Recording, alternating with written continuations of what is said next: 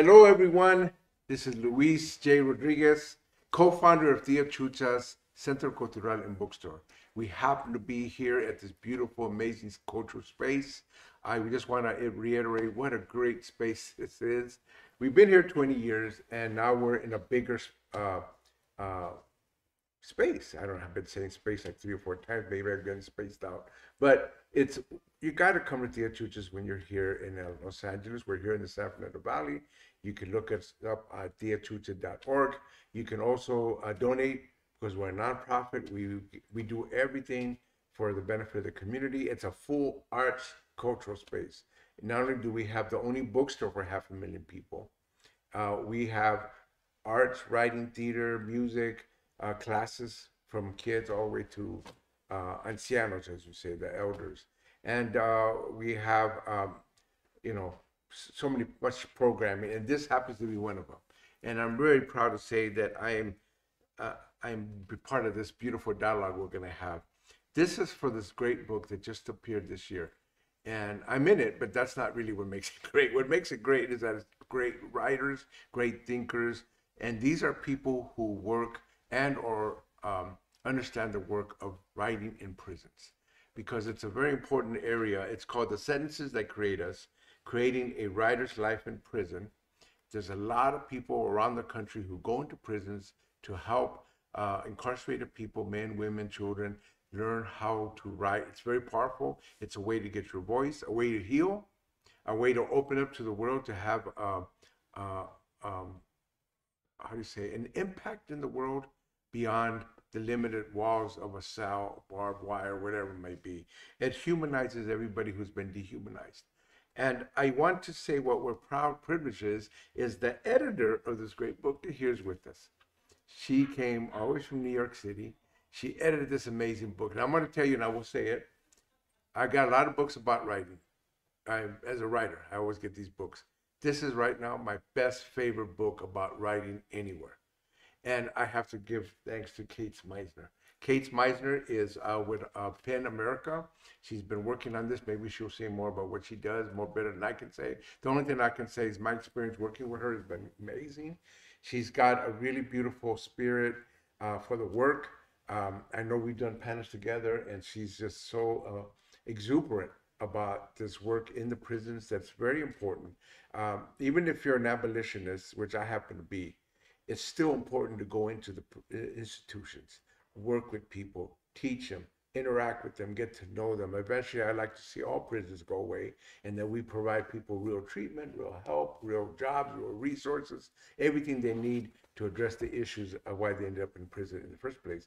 But in the meantime, it's good to be in there. So, Caits, thank you. Thank you for being here at Tia Chuchas in person. My pleasure. Oh my God. And so I think what you ought to do is say more about who you are, what you do, and the work that you did creating this amazing book. Then, then, we'll just have a good dialogue, like you're in on a little conversation in the living room. I can't wait because yeah. you have the best stories, Luis.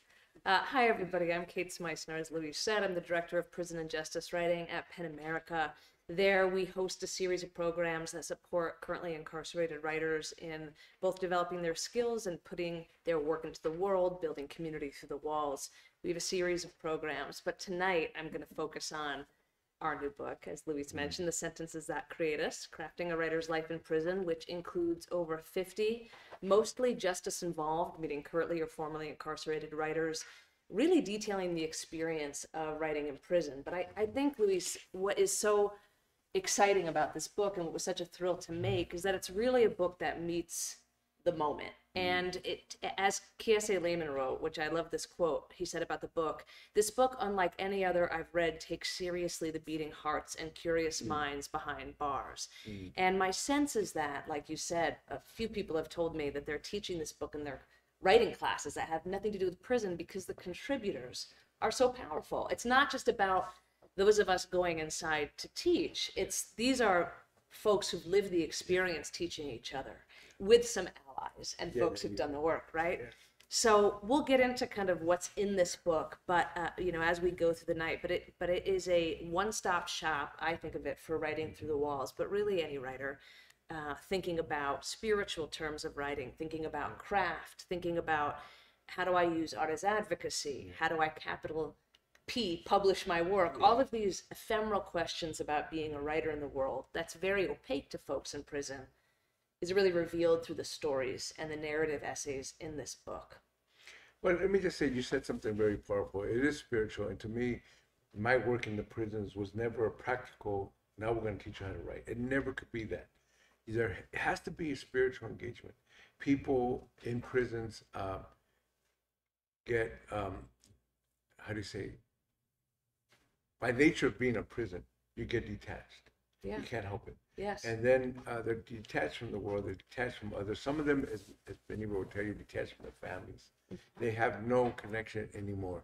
I Detached from themselves. yeah, from themselves. It's just, it's just a constant uh, detachment of people. And I, I found that when I did work in the prisons, uh, teaching writing, it was always a matter of reconnecting at a very basic level with people, who you are, why you're here, where you're going. They they actually have these questions, and for them, writing is not just a practical thing. Even though, as you know, being in prisons, some of the best writers are sitting in there. Oh yeah. They're doing they're, They're in doing this book. novels. Yeah, no, they're doing novels. They're doing plays. They're writing scripts. And, and then there's people that don't really write, but they come to my class, and I have to deal with those levels, and I to speak to both of them. Yes. They come to my class and they take part in the journaling. They take part in the exercises because it's opening up to a world that they weren't ever exposed to, but they realize it's part of who they are. What is their right. voice? And you think about it, the spiritual terms, which I, I really consider. Luis wrote the On Poetry essay, which is much longer than most of the essays in the book. It's really central. It opens up the craft chapter.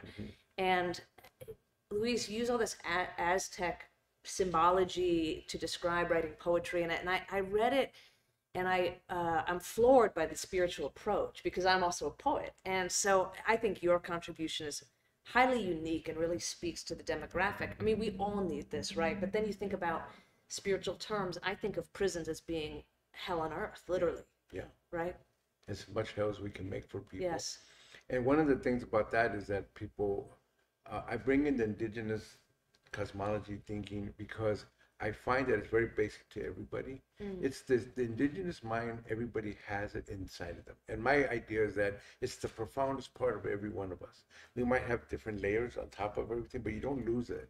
It's still in our genetic memories, my good friend John Trudell would say. All that is inside John of us. Trudell. I know. We spent a lot of time me and him uh, talking, and he became a teacher and friend before he passed. But and he became a poet overnight, they say. But he always had poetry in him. But when he became a poet, people said, "What happened? How did you do this?" You know. That's so- actually a great moment. I'm going to be doing this throughout the night of Yeah. bringing little excerpts of the book in. Can I read a little piece from Spoon Jackson's essay? Because I think what you're talking about with always having poetry inside you Mm-hmm. is such a common experience. And Spoon Jackson is a very a good friend of mine, and we know good friend of mine too. Yes, we share him. He shares everybody. He's a very well known writer who's been inside for decades in California here, and he wrote an essay called "Gift Culture" on collaborating through the walls because mm. this dude is making amazing things happen all over the world. And I said, Spoon, break it down for me in this essay, and he's like, Well, I just be real, Caits, and I was like, But there's but there's math to it that you haven't even articulated so let's get there. But he starts with uh, and then we really broke down actually how did he do it? How did he make these relationships through the walls? But he writes about coming into his poetic voice to open his essay and how that happened and it it illustrates exactly what you're saying. So i'm going to bring spoon into the room our friend spoon. And when he calls me i'll tell him. Yeah. he says, I sat in the far corner of the basement classroom and placed two empty desks around me. Sometimes I sat out on the stairs in the hall across from the class. I always wore dark shades even at night. I did not want anyone to steal my eyes, and yet I never missed a poem read or any word said. It was only after nearly a year in her poetry class that Judith Tannenbaum, excuse me, saw me without my shades when we met for an individual consultation. She asked me where I was from and was delighted and shocked when a whole description of the high desert came out. I spoke of the weather being 90 degrees hotter, of sparrows singing, and how, when I stood on Crook Street and looked at the purple and red clay mountains that surrounded me, they appeared to be the whole world. Judith wrote down and read my words back to me. We collected my thoughts into a poem on the page, Heart of the High Desert. I had been speaking in poems and did not know it. Yeah, what a beautiful passage. And I have to say, Judith passed, and she was also a good friend. And a book about her, Spoon Jackson just edited. Are you in I'm it? And I blurbed it. Yeah, there you go. So, I mean, these are great people. And Judith is one of those people that went into the prisons and, and provided this this forum for expression and openness, but also, like you say, already drawing on what's already there. Yes. It's That's not about important. coming in and saving, right? It's about coming in and communing and saying, Yeah. what do you have in you?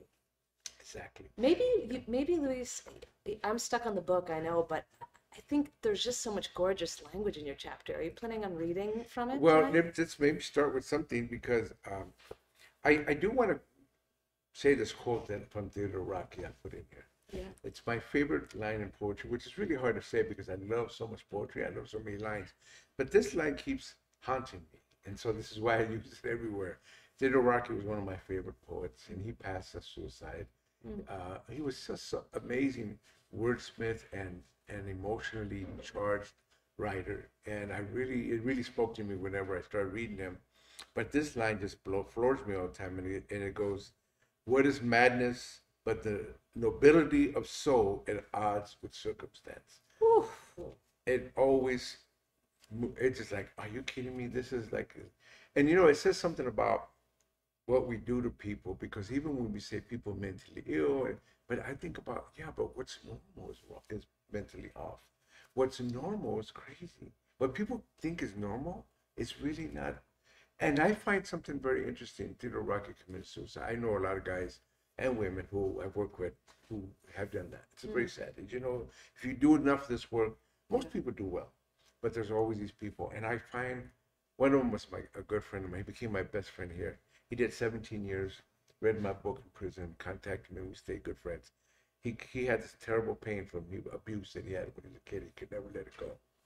And he told me something. Well, he said it in to somebody else he called because he couldn't reach me, and he told him, um, "Tell Luis I'm going to be okay. I'm at peace." But he also said something like, um,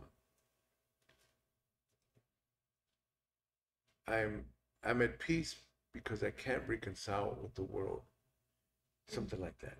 And then I realized, you know what? That's a truth for a lot of people. Mm-hmm. It's a spiritual battle they're having with the world.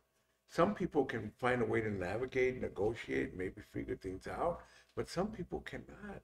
This is too, the world is too empty, too ugly, too, you know, we got invasions in Ukraine, we got all these things happening, we got the pandemics, right?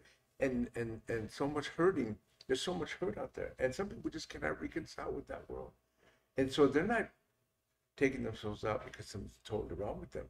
Maybe something's wrong with the world that they don't want to be part of. You know what I mean? I do know what you mean. And, and actually, my question for you is Do you use writing to navigate and reconcile the world?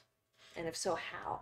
So what I do when I teach uh, with incarcerated people that I work with, it's really my what I've learned. Yeah. So the, whatever I went through, I went through a big uh, uh, journey myself because I was um, a heroin addict for seven years. I was in and out of jails, and all youth in our jails, juvenile hall, and I was homeless for three years. I was in pretty bad shape. Mm.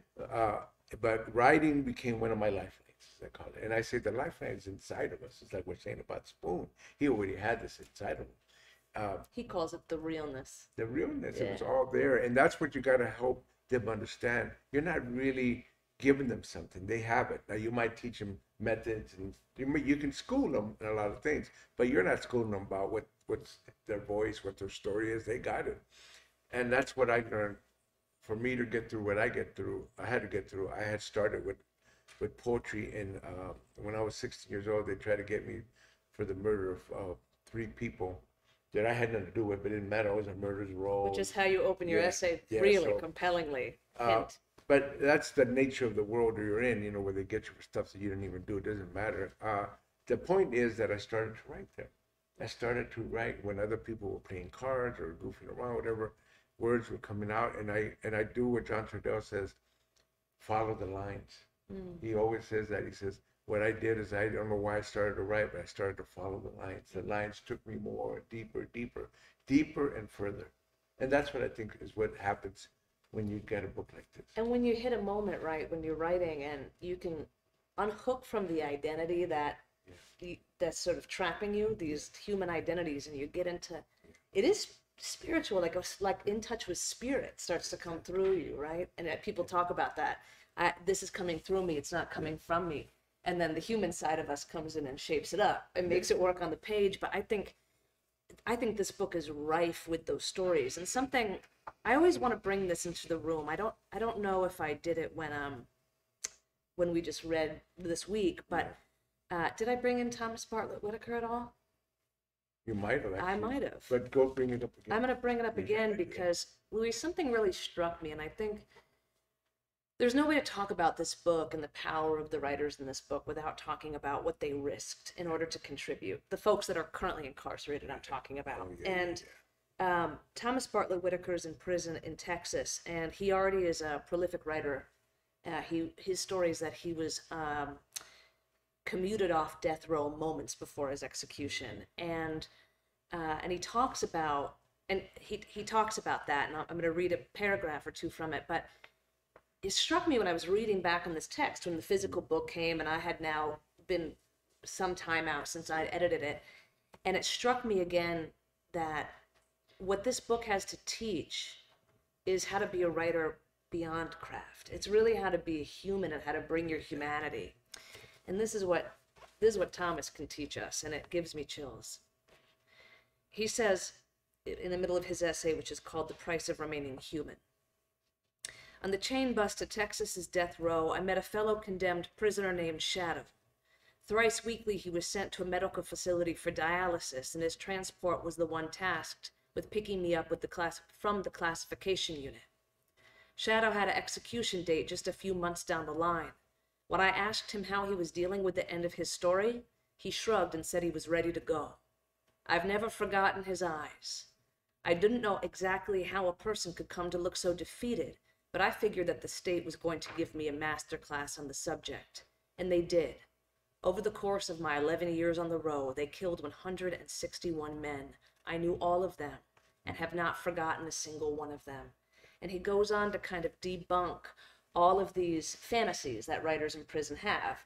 Uh, you know, I'm going to become. A, he's like, you know, if your cellie says he just sold a million books, he's lying to you. Put a put it blank. He says you have to write because you're haunted. Yeah.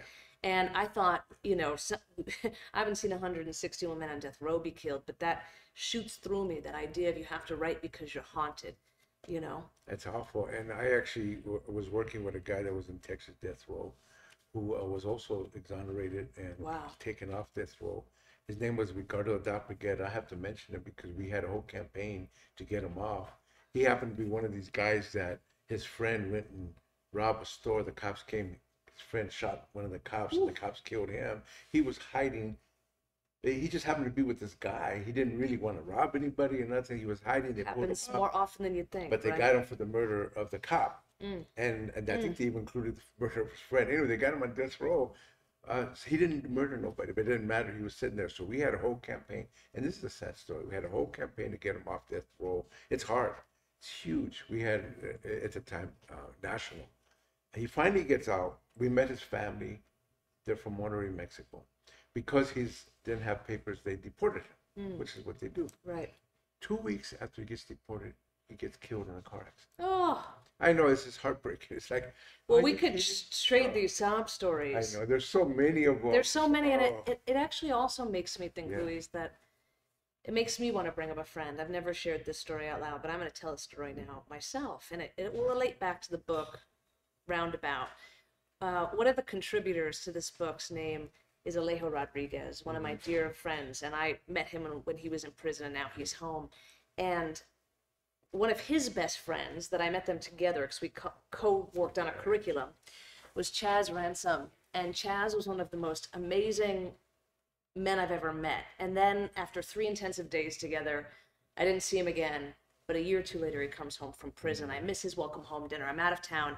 I'm on the subway one night, and there's a scuffle happening. Like somebody accidentally stepped on someone else's foot, and somebody's being dramatic. And I kept looking at the guy like that guy looks so familiar.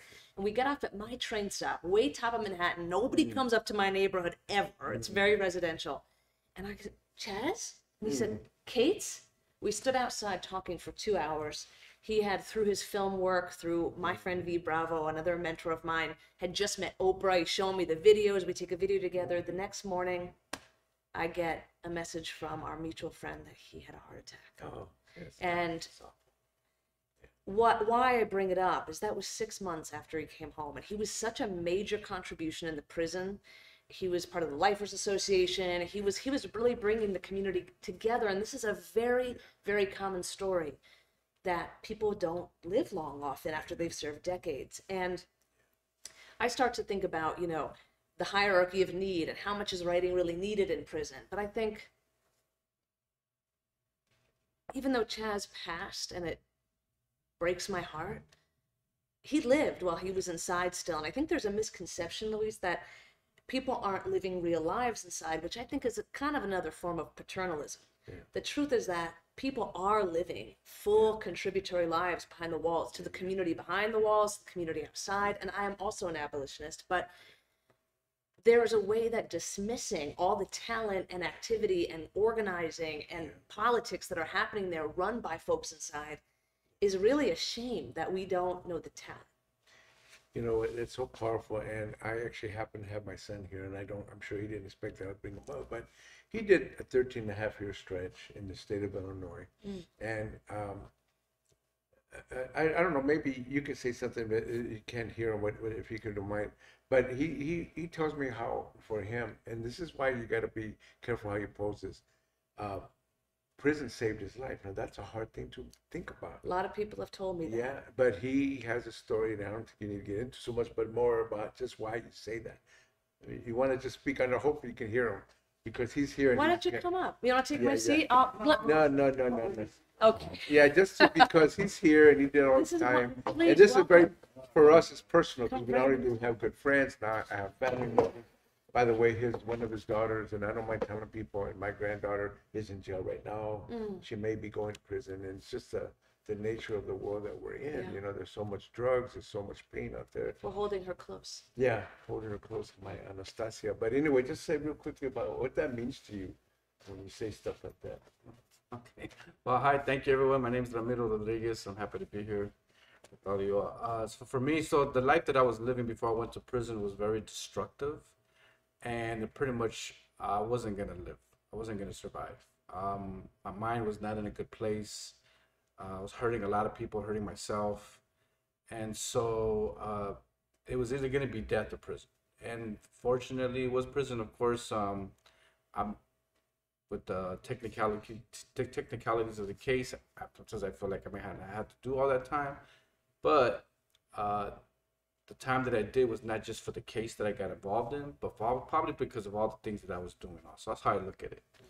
So I really had to make some changes in prison, and uh, when I was in there, you know, writing poetry really helped me out a lot. Uh, it helped me to express myself. It helped me to um, not have to tap into that anger in a very violent way, but I was able to do it with writing, you know. And then um, my dad and some other elders were able to send me some um, indigenous um, teachings and writings and things that I could learn about who I am as a Mexica person. So there were a lot of things that I needed to do to make sure that when I did come home, I was a different person, a better person, with a person with a different attitude, and someone who I can come and make you know make come out and uh, make sure I can contribute and help you know other young people that are going through the same things that I was going through. Yeah, so, and then why the reason I brought him up only because we talked about those terrible stories of ones that didn't make it. Yeah.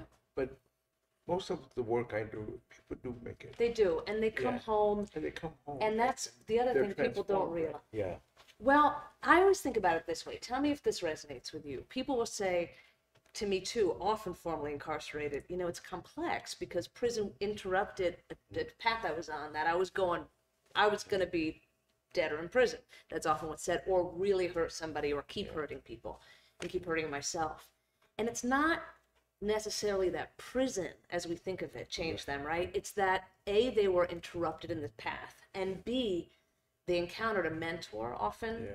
or a and that could be a fellow incarcerated person often is Yeah. they encountered a book or they encountered something friends or family sent in that there was some transformative force in the interruption of life and can we do that without the use of prisons Yeah. is the real that's really question the i think question, that yeah. Well, for me, it was the community and my family. Yeah. I, you know, and, and um, it was sad because there was a lot of people prison that uh, don't have any of that, and they're just lost. And so it is important that the work that you're all doing, going in there, uh, helping them, and, and, and you know, sharing with them what you all uh, have to teach and everything, because sometimes that's all they have.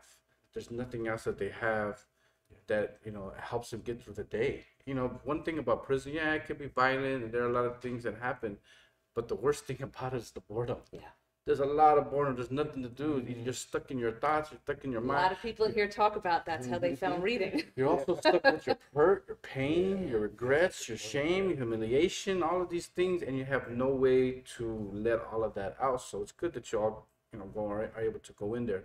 And for with, with Illinois, there's not a lot of those programs. Yeah. Illinois Well, doesn't have a lot. That's why we, you are bringing me to my point. There you go. Which is that thank you for that intro and forgive me for jumping in No, it's it's okay. Yeah, yeah. is that if you're outside of a major city where all the artists are who, who are interested in these opportunities who get it you get programming deserts.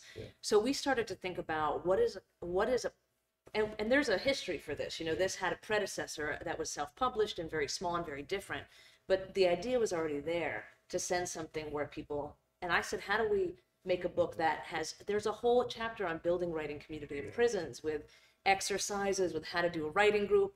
And it, it is meant to be a blueprint instructional manual exactly for folks who don't have that coming in. So you know i think about books that i've like you know been like this with because they've become so important to me. And that's what i hope this would become in the not just me me and all the folks who worked on it.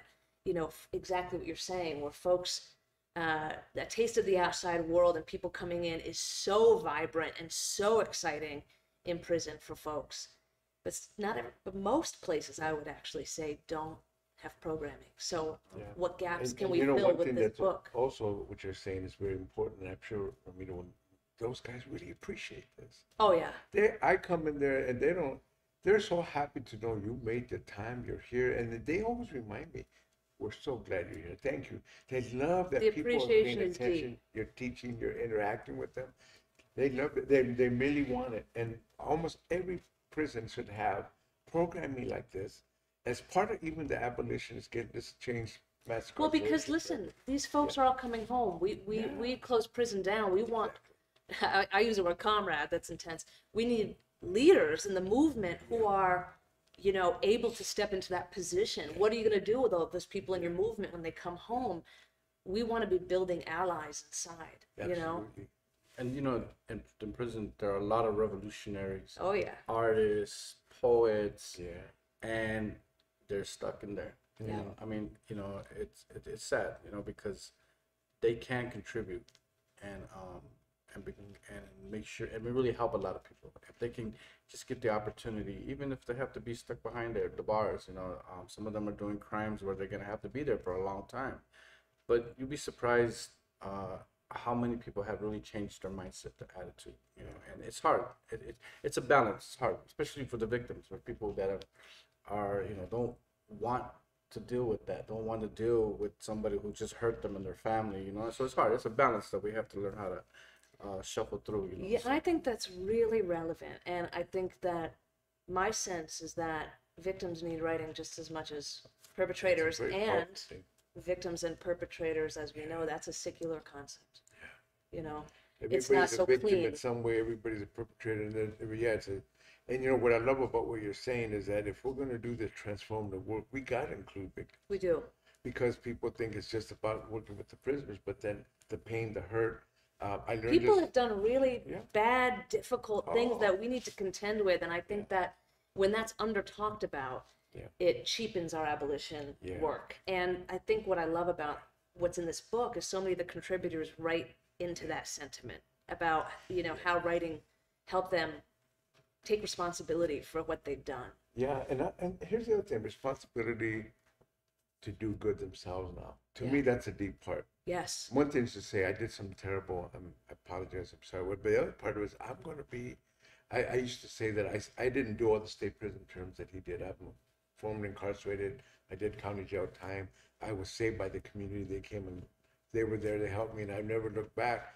but I always say that I've sentenced myself to a lifetime of community service because Yes. that's partly what a lot of these men and Yes. women end up doing. Is, is look at I, I did terrible things. I know I owe the world something, but let me pay back. Not pay back with my own gifts. That's really the key. Yeah. And exactly, and and one of my core philosophies is that you have to move from your own passion and, and what makes you feel good in order to real, really make a contribution. But that is so counter to what we say people need. We say they need punishment.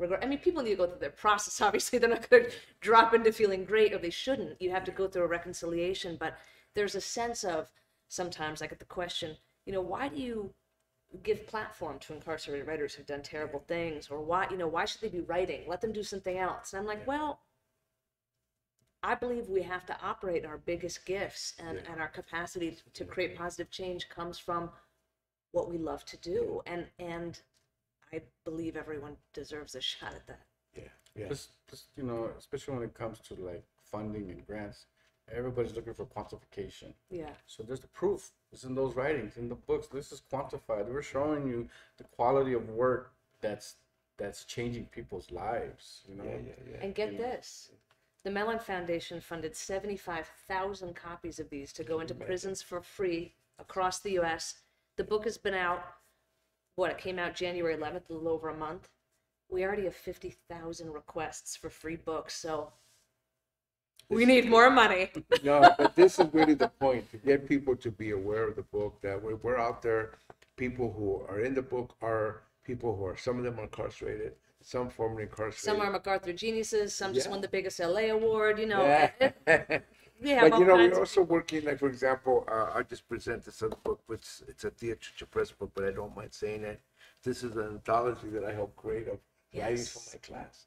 It's called Make a Poem Cry, and Kenneth Hartman, the co-editor of this book, he's an art He's book an, uh, the book, art book. I, this is our book, and he did um, 38 years. I mean, the guy was a life without possibility of parole. He, but when I met him many, many years ago, he showed up in my class.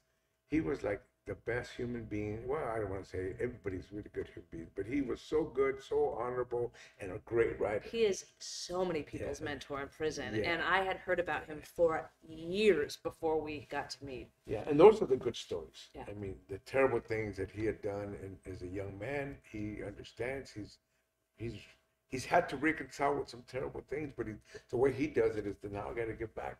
I got to help others. I have to give back, and that's really the the drive of a lot of the guys. Even him, I mean, he gives back all the time. You know, it's a constant thing. Yeah. Uh, I wanted to- to see about maybe you reading something else that might be appropriate to what we're saying here. Yeah, definitely. Oh, Definitely. okay, and I'm gonna let my son go. Poor guy. Oh, yes, you, Yeah. you can exit Yeah, stage thank if you. you'd like. You know, it's very hard to do this, and then you have somebody like my son sitting here without bringing them up because, uh, yeah. But I'm gonna read a little. Um, I'm gonna read a little piece from. Well, I want to give a little sense. I'm trying to figure out where to enter this piece. Um, that one won't work. Uh, I'm gonna I'm gonna read a little of Alejo Rodriguez's Okay. opening because he says, "And still I write creative expression for self advocacy." I mean, there's so many points we touched on that we could go into, but why I want to bring this up is because there's been a lot of talk about writing as spirituality, writing as like bringing the core of somebody to the fore, writing as contribution. Alejo's essay is called "And Still I Write: Creative Expression for Self Advocacy." He's an incredible advocate. Works with an organization, Zealous now. He did about over three decades, and he wrote a whole essay about how poetry helped him finally make the parole board after 13 attempts. And this is one of the smartest, most compelling people I know. So here's a la- can I curse uh, or should I bleep? no, no, go I ahead. can curse. Audience Yeah. The few of you here- all right, great. Okay. says every love poem is a love poem. These were the words of a guest poet who came to our workshop in NAP, that is, the Eastern Correctional Facility in New York. My gut reaction was like, love poems? Man, I was there to spit fire. Call it poetry if you want to, but I was there to use my writing to sort through some real shit. My anger, my distrust of anything institutional, my questioning of myself, or my values really my values, or just some things I adopted from other people. Why was it that I couldn't shake the voice in my head talking about how we'd been in prison before, even though this was my first time? And here goes this poetry cat talking about every poem is a love poem. Yeah, I. So he goes on to talk about, you know, feeling free through writing, and um, and here's where he kind of comes back to around where he's at the parole board. For decades until that point, I'd been searching to express myself in terms that I thought the parole board would want to hear without command of how I actually express myself. I began to re examine key words that the board would use in their denial explanations like lack of remorse or lack of insight. Hmm. Throughout my bid, I had certainly wrestled with these words. They had a living, breathing presence. And so I was disappointed to learn that both words were nouns, a person, place, or static thing contained mm-hmm. within a limited existence. In my heart, though, I understood these words to be verbs, in motion, actionable, evolving. I knew that remorse, for example, is far more than saying the words, I'm sorry. Remorse showed up in who I surrounded myself with, the seemingly small choices I made, the big goals I set. I also understood insight as illumination that expands over time, the connecting of dots between the root concepts of life lessons, and making conscious how they influence our daily decisions. Insight was understanding why I chose to involve myself in volunteer programs outside of what I was mandated, or why I spoke up not just for myself, but also for others locked up. Mm-hmm. And the essay goes on to actually lay out bullet points of practical how you can use writing for advocacy and tells the story of coming home. But I think he really captures what we were talking about just now, right? This sense of of people often ask me like why do you work with writers in prison? What is it about it? And i think i'd like to have a more like a political answer sometimes but the answer really honestly is that i was so moved by meeting people who'd done things that had previously been unthinkable to me that i would be friends with somebody who had murdered or raped. And then i got to know them well and understood who they were in this moment in their life. And fell in love with so many people and their talents. And I thought it just rearranged my entire brain and heart and manner of thinking. And I thought, and it's a thought that gets me through the day sometimes when I've struggled with depression or mental health. And I'm like, man, if my friends could come through having Yeah. done some really terrible things and reconciled to the point where they are, and I have so much to learn from them, and I am so lucky, you know? You know, it's one of the reasons why uh, in my essay I have these prompts that are not your normal prompts. They are beautiful. You should give a They're taste of one. They're Yeah. so good. because uh, people have all these prompts like you see a bird up a tree what's your first thought that happens i don't know, you know i can't I There's a can't bird in a tree. i have to give prompts that are uh, well they call it social emotive i don't even know if that's the right word that really open them up Yes. and like for example um, the simple one is put them on a crossroads they're all on a crossroads but you actually put them in the crossroads and say what are you what are you facing? When you're in the crossroads you have to make decisions about where you're going or not going otherwise you're stuck there. And many of them will say well i'm stuck in the crossroads. I don't know which way to go. Well what are you facing? You put them in the horns of a dilemma. Yeah. what? The horns of a dilemma. That's where no matter what you choose you, it's going to go something's going to go bad. And you know what they say? That's been my whole life. Yes. Okay, so how do you deal with it? How do you write yourself out of that? I put them on a train. I call it the train of life, where you're on a train and you're making three stops, and each stop is a part of your life, a marker in your life. But what you do is you're dropping off baggage and picking up baggage. What are you dropping off and what are you picking up at each stop? It could be when they first went to school, when they first fell in love, when they first went to prison, whatever it might be. These things are engaging at a, a deeper level. I They're mean, not but the just- framework of storytelling is brilliant. I think that I have my former intern Alec here with us live, and uh, I think we we wrote to some of those prompts just in our team for fun. And you know, also speaking to socio-emotional, these are the questions that do rock a soul. And we, when I used to teach in a women's prison for years, our ritual was going to get a roll of toilet paper from the bathroom putting it in the center of the circle because somebody was always crying Yeah. and somebody was always laughing. Most of us were usually laughing. And I think your prompts really capture that. You know what I learned is that a metaphor at some kind of level is where you really get into. I, if I ask them, tell me what your worst day in your life or what your life is about, they're not going to answer. But you put them in a metaphor, and the metaphor opens them up, and that's what's important. Metaphor is also, Luis, is also safety. Yeah. Thinking about prison and who's raiding your cell and who's raiding your work and who's censoring mm-hmm. what's coming out and going in and who might get a hold of it and oh shit, you're in trouble because your secrets are out there and it's this place of survival. All these threats. I always said learn how to use metaphor because that's how you can stay safe and tell your story. Exactly. So it's it's so it's safety to open up and it's safety in a really literal sense too. So one of the things I do is uh, the face and heart, in ixtli in yollotl, which is a Mexica indigenous concept. But what's important in prison is they totally get it. Face and heart is that that's the word for in ixtli in yollotl, is what the Mexica would call a person. But what that means is your face and heart is it aligned? You know, because we present ourselves, we have a way of showing, representing, but is it really aligned to who you are? And that's a struggle they're always wa- waging because they see in others. This person presents himself a certain way, but I know that's not really them. And they love the idea that you can align these things. Your heart and your face could be aligned. And when they get close to it, they show it. Their face actually shows what their heart is. And the heart actually is what their face is representing. You know, they love what they can't stand is the hypocrisies, the two-sidedness, the you know, the the backstabbing way of doing things, even with yourself. And so it's a great concept because they, they totally get it. I know what you're saying. But talk about how how you know I, that's what I was talking about your chapter being so unique and so uh, really opened me up.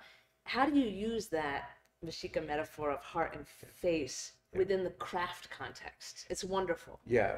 Well, because part of the thing is that I don't want to get away from that writing is a craft. Again, it's inside of them what they write, their stories, who they are. It's they got it's a lifeline they already have. But then I always tell people, uh, at a certain point, you got to make a decision, and that decision is, am I going to be good at what I do? It's a you yourself as a human being are the masterpiece you're trying to make. And they love that because again, they want to master their world. They lived in a world that chaos and everything else ruled, and also they were like following along with other things. They gave themselves up to other things. Mm. Now they have to give themselves up to them. And you got to be a master of who you are. And they love this stuff. Everybody loves this stuff because they want to be that master. They want to say, I want to master my world, my life. I want to be a master of my art. That to me is what's really important. And so it works when they can see that oh it's within me. I own my life. Nobody owns it. I have to own the bad and the good. I have to own everything i've been through. Because like it, when i was on the street i can tell you i turned my life over to a gang. I turned my life over to heroin. I mm. turned my life over to everything outside of me. And you know it, it seems like the cool thing but then i realized what a and as i got older what a cowardly thing it was for me And don't people do that in all kinds of ways that aren't heroin in prison, but are like Yeah. seemingly innocuous? It's That's the way exactly that our society operates. What you're saying is this is is what's normal really what we want. Right. And I think you know these might be on we might see them on different scales or there's different rhetoric. I used to teach at a needle exchange um, in Washington Heights in New York, and the training really spoke to me through. I was working in prison at the time too, and the parallels to it. And there was we there was an exercise where we did you know list all the drugs you take and the advil this that you know all the all the legal drugs. Right. Eh, cough syrup. And then we did a, a list of all these drugs that, that folks that were coming into the center were taking. And uh, and what they said was both lists the accomplishment of taking any of these drugs is to feel better. And i you know and that the harm reduction was their model. And i think there was something so instructive to me about that framework and i'm glad to remember it tonight because it's so easy for folks to say well i don't do that but do you drink a bottle of wine every night or do you know there's so many ways in which all of us are contending or with even these very even same the things workaholics who Oh, hide in their yeah. work. Or I remember one time I was talking to somebody and somebody gets up, suit and tie, nice guy, and says, "What is it about all these gang members? They all look alike. They all act alike. They all." So I You're looked at like- him and I go, "Hey, hey, you know, just so you know." Well, I asked him what his position. He was an insurance salesperson. I go, "Well, I'm sorry, but you look like every insurance person I ever met." You're doing the I'm like, same with thing suit. that you're putting these gang kids down. You know, it's a, you know, you're just in a different gang. Maybe, maybe you're, you, you know, the people don't realize that they're actually doing these things that they're blaming kids for doing. But you know, the, the idea being that we're But where- and gang, gangs have leadership that's skewed. Yeah. If you can get to a gang leader and transform a gang leader, like I'm, I'm banking on my friends in this book giving it to guys on the yard. You know, Yeah, you yeah. got to read this because and and, that's and a that pa- that is a powerful energy that's been, you know, woefully misdirected because of societal landscape. Now, if you understand politics in prison, which I know you understand, you have to pay attention. I don't talk about this. I know what's happening. I know who's who. So, in some of these prisons, these high security prisons in California, people come and audit you. They won't say it's auditing. They're watching you. They're running the yard. They have people come in and audit you. Is this really cool, or is it just? And you can't you got to be careful what you say but if you say some really deep genuine things they go back and tell other people this is really good That's right. they go back and say and these are the guys running things they actually tell people go to that class it's amazing what they do because you would think i don't go there, there. But they they audit you and they said no this guy is or this woman because sometimes it's a could be a woman uh, they're teaching you something really real you could and they even tell people go in there go. And so it's always been a situation where I don't have to worry about it as long as I'm genuine, I'm real. I don't talk about things I don't need to talk about, but when I'm talking about the stuff we're talking about and it opens up the world and they see it happening, and then when they get going there, and men and women, but men don't have the same. Uh, the women in prisons, I know they do cry, they have emotional. Men hold it back. I- Absolutely. But I tell you what, they hold it back, but they have another way of bringing it out. Yeah. And when it comes out and people see that, there's a genuine transformation. You know, when men get emotional in their own way, it transforms a whole room. And it takes that courage, that one person. And I'll tell you one, I'll tell you one real quick story. Tell me all the stories. Yeah, That's so here. so here's a guy, uh, hard nosed, you know, he's black. He's been in Soledad, uh, Pelican Bay. He's been all the rough places. So he says, I, I'm going to read something. I wanted to commit suicide when I was in Pelican Bay, and I never told anybody. But I'm okay telling people now. I'm through it. I went through it. I'm, I'm okay. I don't mind. It doesn't take his manhood away, but he could never tell people that. So he read this really beautiful thing. And he was in Soledad, uh, I mean, in uh, Pelican Bay for like six years in solitary confinement, which is really horrible. Ooh, But this one Chicano guy gets up because my class is generally black and brown. I have Asians and whites, but they're all great. But black and brown. There's one Chicano guy uh, who I know did 34 years in prison.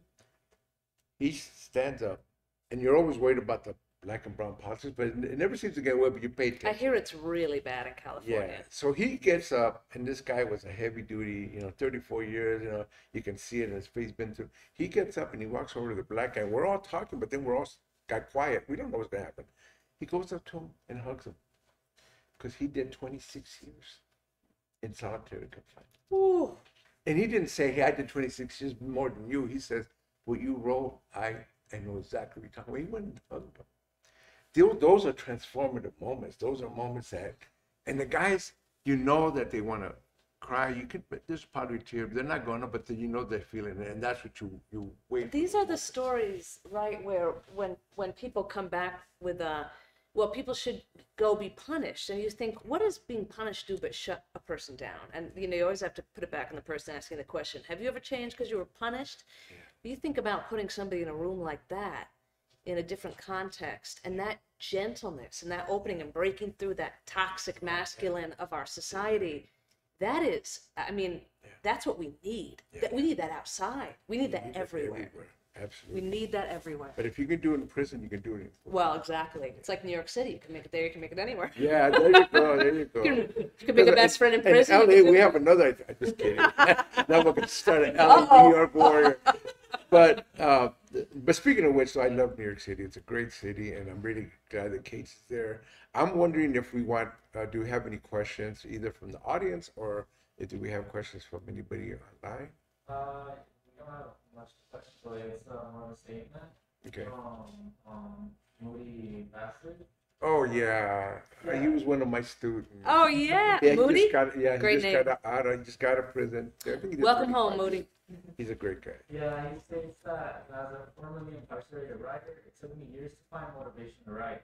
I felt inhibited by my desperation and my emptiness. However, I found release and inspiration by confronting my circumstances rather than writing around them, and by externalizing the painful parts of my life, I gained a deeper understanding of Beautiful, s- beautifully what a testimony Yeah. yeah, what a testimony And, and that's what happens if you do this long enough.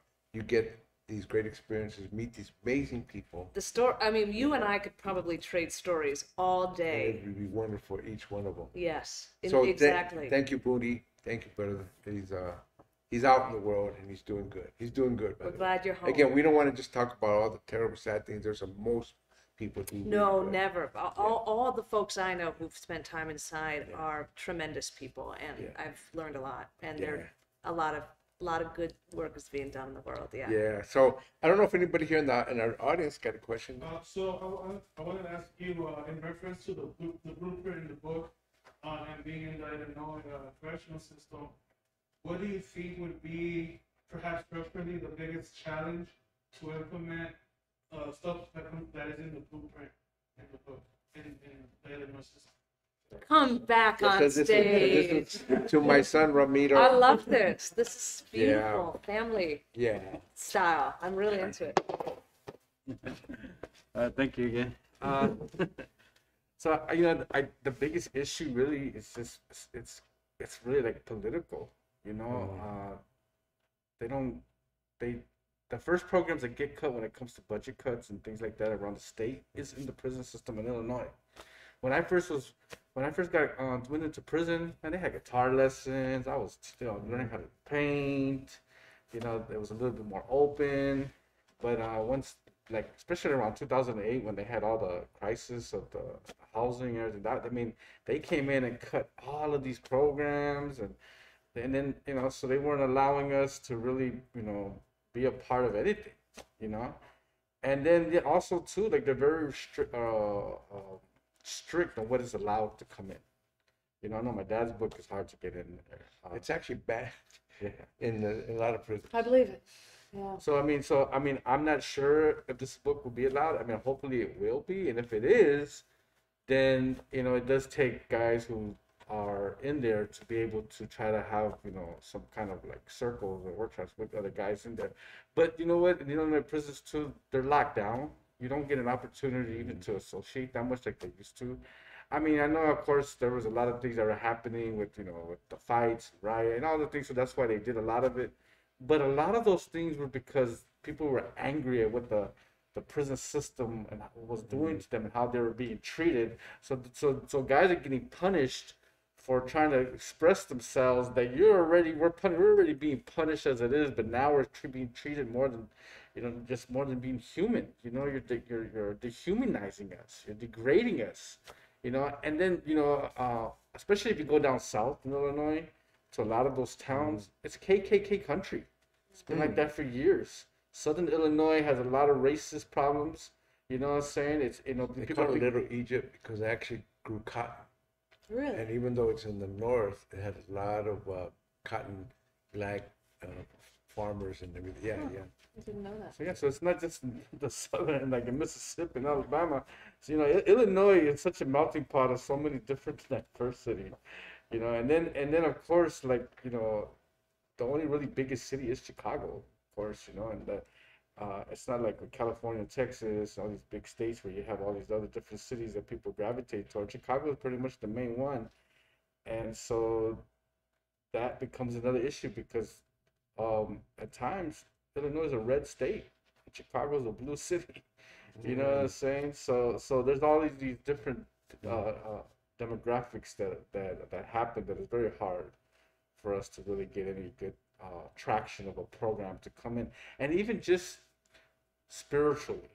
For instance, uh, I'm Mexica, and when I went in there, they they, they tell you they have a your ID card. I don't know how it is in other prisons, but I don't know in Illinois they give you, you when you have your ID card in the back of it, you could put like your religious you know affiliation, which you would. So I wanted them to put Mexica. I used to get into it with the the the priest in there because they really wanted me to be a part of the Native American church. I'm not a part of the Native American church. I'm not into Christianity. I'm not. You know, I'm I'm, I'm, Mexica. It's it's it's it's it's ancient. It's old. It's, it's in my blood. It's who we are. I'm rooted to the energies of my my people. That's what I believe in. That's my spirituality. I'm not religious, and I really wanted to. So what they did on my back of my car was they put other. Mm-hmm. you know what I'm saying? But this is how it is in Illinois. I mean, these are the things that we're dealing with. You know. And and yeah, so I'm just giving you all some examples of what happens. Thank. Yeah. I also think you you bring up um, some things that touch on a powerful concept, which is that I think prisons are afraid of life and life energy and life force and creativity because writing is power. And so, you know, a nice rehabilitative program is cute and sweet, lovely, give the inmates some skills. You know, we could package it that way. Yeah.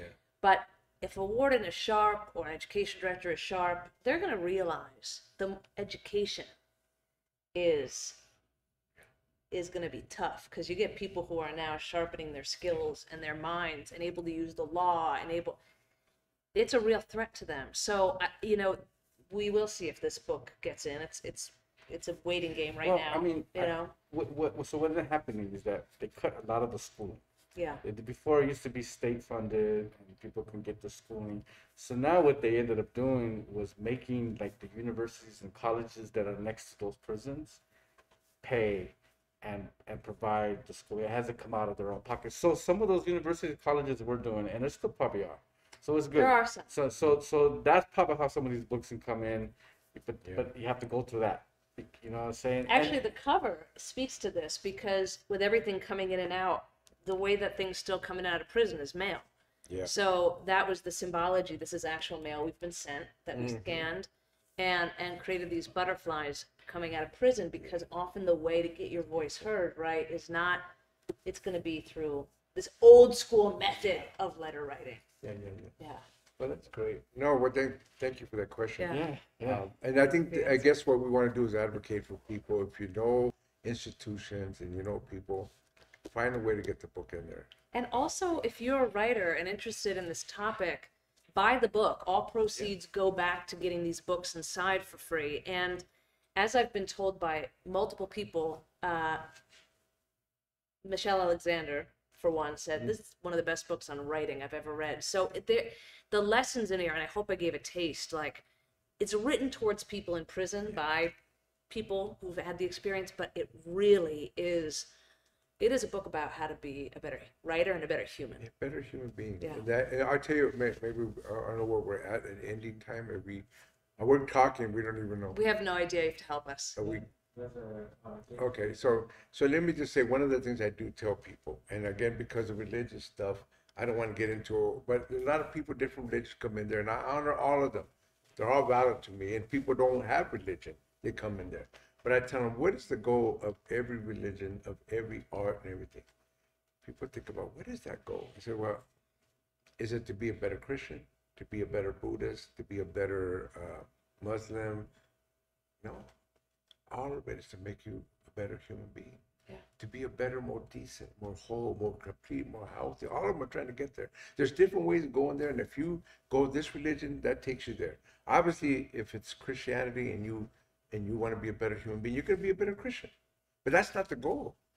I tell you honestly, It's a uh, tool. They're it- tools, philosophies tools to that guide us, right? Yeah. a better human being, you know, and decency. And that's why I really have problem with people who claim religion and like the worst human beings in the world. I know there's so many of them, unfortunately. It's a face and heart They seem to be everywhere. Yeah, you guys presenting yourself a certain way, but you're a contradiction to your own self. So it's even true for institutions that they got to be real. Oh yeah. And I'll tell you, speaking of institutions, PEN America and Caits Meissner and the prison writing projects, they are real. That's the important part. That's, is uh, that- can I put that on my bio? Yeah. Says Luis J. Rodriguez. Yeah, because I mean, this is what we're talking about. How to be genuine in a world that's so ingenuous. There's so much lies and hypocrisy. But you know, speaking know. of this, Luis, and I, I want to bring up race because I don't usually volunteer it because it can get contentious. But um, as a white person in this work, um, there were there were so there were so many conversations that other people, other white people, have had with me about their anxieties or why they go in. Can I go into prison and do this work?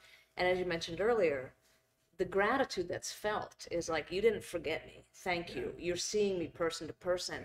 And my sense is that now, although there's a lot of race complexity in prison, as we know, especially in California, as I understand it, but everywhere, that when those relationships get forged through literal walls, when those relationships get forged through metaphorical walls, this is where like the most radical human to human work is being done in relationships. And it takes away the, the mm. race falls down. It does. I mean, that might be the first thing you look at. Here's a white woman. What does she know? I mean, that happens. Well, I have a great story about Yeah. being in the San Francisco men's jail. I came in looking like me, and I had just done a workshop with 25 men.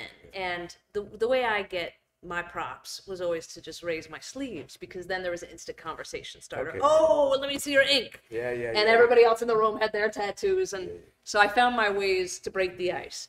But then I get up and, and we're in the housing unit, which looks like a, f- like a fishbowl because in, in the San Francisco men's jail, it's, it's not bars, it's glass. It's very uh, upsetting, even more upsetting in some ways. Strange.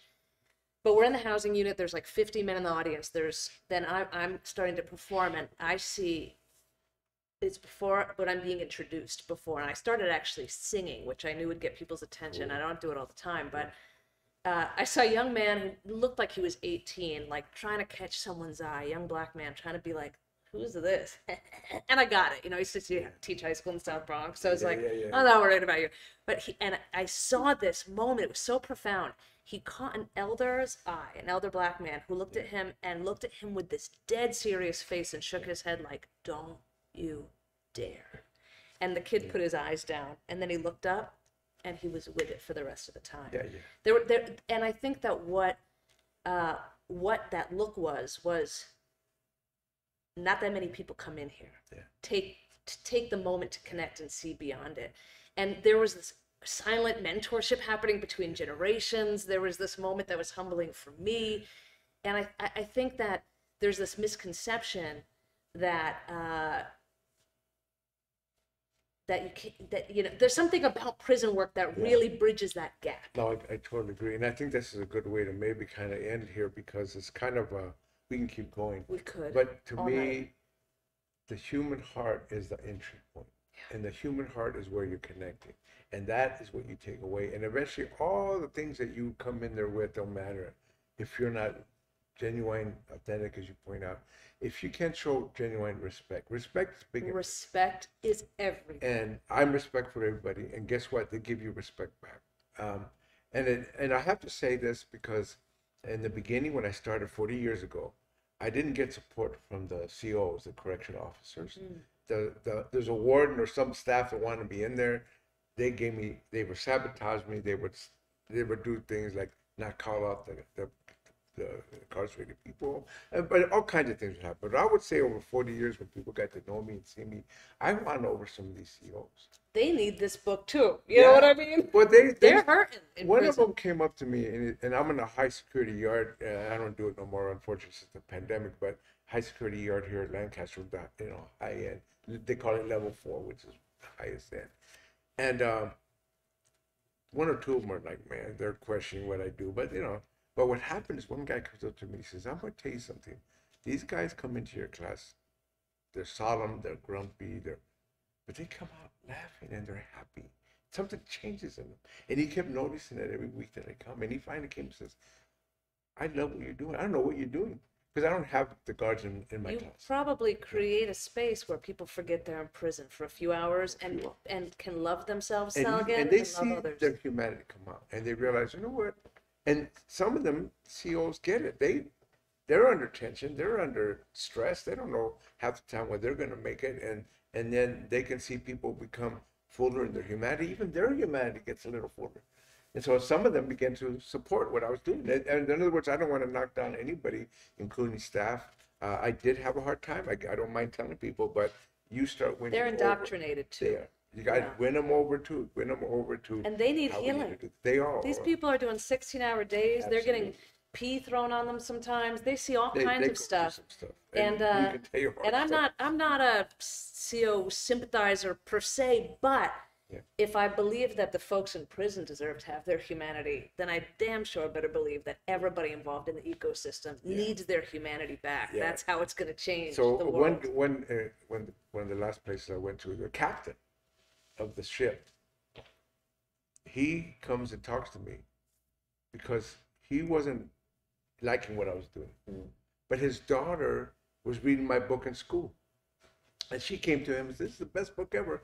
And then he made the connection. Wait a minute, that's the guy that comes in this. Oh, that's prison." wild. So he read the book And then he comes to me, this is the captain, and he said, I'm going to tell you something, and I want to apologize. I did not like what you were doing, but I read your book. And it's a fan- amazing story. Wow. And now, now I, you're here. And I thought you're too big famous to come in here. And you come in here to do. I said, look, uh, I, I just like to deal with human beings, wherever they may be. And then he shows up to a play that I did on my book. He shows up with his daughter and his family. Wow. And he came to me one day, he says, whatever you need, I'm there for you. If anybody gives you a hard time, like the COs, if anybody gives you a hard time, let me know. I'm not going to do that. But I mean, it- it- in other words, you transform lives down the line. Everybody gets transformed when you, you do this kind of work. So, Agreed. and I get transformed. Period. By the way, I'm- And we get trans. Are you kidding? This book, this Yeah. book, editing it liberated me to say there's a lot I'm not saying that I need to get braver in my own writing, there you go. and I need to really own myself as an artist in a way. I, I, how could I not? How could I edit a book on liberation through writing in prison and not become more liberated myself? That's a gift I got from this So maybe it's a way anybody interested in this work, you get transformed, and that's important. Yeah. And this is a, a, the best book out there. I will have to say I've read a lot of read a lot of books about this work. Writing this is the best one. Uh, please get it, but also do whatever you can to get into the prisons. And anybody wants to do that work, please do it. It really is transformative at all levels. And Caits, I want to say thank you.